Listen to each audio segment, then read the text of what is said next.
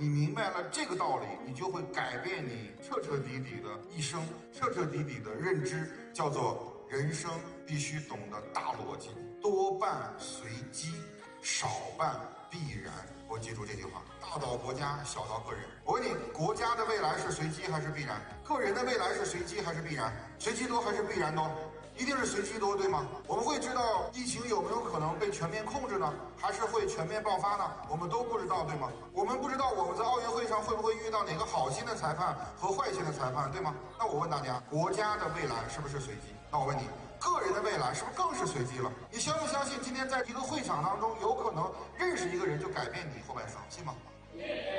我自己在讲课的这条路上，我曾经去参加了一个论坛，一个聚会。前两天我去天津看那个大哥，我们俩就是在一个聚会上面认识的。我们俩在聚会上面坐一个桌，那个时候我还抽烟。然后呢，他一碰我，他说：“哎，他说你也抽烟吧？”我说：“啊。”然后咱俩抽根烟去。我说：“走。”后来我们俩就到门口抽根烟。后来他没带烟，他说：“我看你的包里有烟了，所以我想抽你一根烟，行不行？”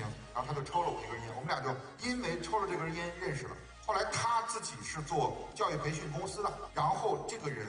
至少在零几年的时候，给我带来了几十万的收入，就是因为我们俩认识。你去回忆一下，你自己过去获得的机会，是不是大部分都这样获得的，而不是身边的熟人认识了八年、认识了十年、认识了二十年以后给你推荐了一个机会，认同吗？所以人生也好，国家也好，世界也好，所有人的未来是不是都是随机，对吗？那我想问你一个问题：既然国家和个人的未来都是随机，那你？自己现在和过去的努力，是不是在必然上努力来着？考学、找工作、升职加薪，这是不是必然？认同吗，各位？什么叫必然？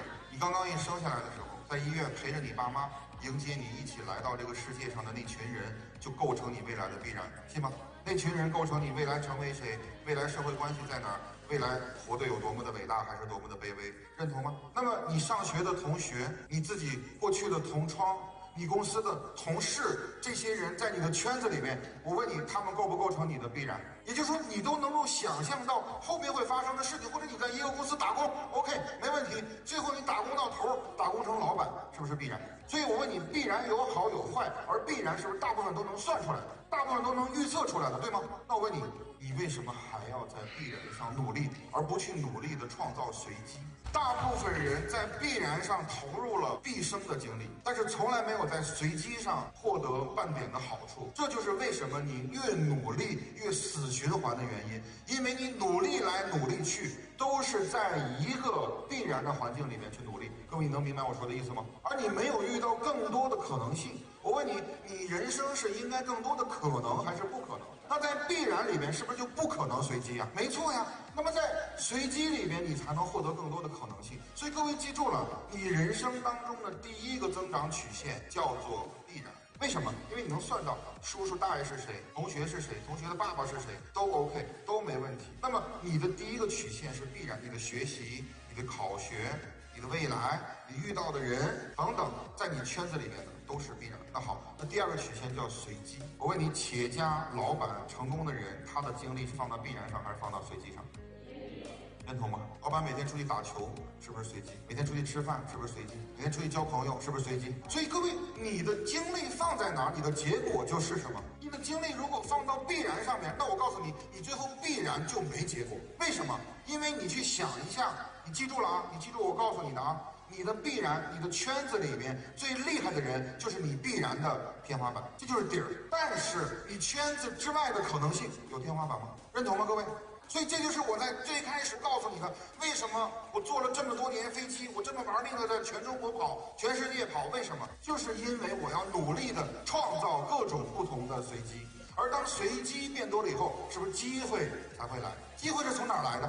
包括我再问你个问题：机会是从熟人圈子里面来的，还是从熟人圈子里面来的？如果那个熟人跟你都熟了八百年了，你俩穿一条裤子长大的，他能给你机会，他早给了，认同吗？他给不了你机会啊，所以你要明白，你所有的发展、所有的扩张，互联网有一个词叫什么？叫浅关系，而不是深链接。你所有这种可能性都是浅关系给你带来的。所以各位，你要明白一件事情，就是你自己努力、努力、努力，你要有一个结果式的努力。而这个结果式的努力，如果只是停留在必然里边，那你能有结果吗？必然的结果大还是随机的结果大？所以我就问你，就这一件事儿搞明白了，对你有没有帮助？就这一件事儿搞明白了，会不会指导影响你未来的行事作风、待人接物？会吗？所以你遇到其他人的目的是什么？创造随机，而不要在自己的死圈子里面去打。所以各位，你记住了，这是道理当中的道理。而且创造随机，它是一个扩张性，它迎接的是未来；而你记住了，创造必然，它是收缩行为，它迎接的是过去。所以在自己未来的道路上，一定要明白随机重要还是必然重要。我再给你讲深一点，你相不相信那个必然？你不努力，最后结果也差不多，信吗？举个例子，你家里面有一个某个学校的校长的朋友。或者是你们家的亲戚，然后你特别想上这个学校，你好好学习，你不好好学习，你都能上这个学校，是吗？所以它跟你的努力没有关系。所以你是不是应该努力的在随机上，而不是应该努力在必然上呢？能明白我说的意思了吗？你如果想获得大结果，如果想获得更多的结果，那么你就需要在随机上面去展示你自己，而不是需要在必然上展示自己。这点闹明白了，一定会让你变得不一样。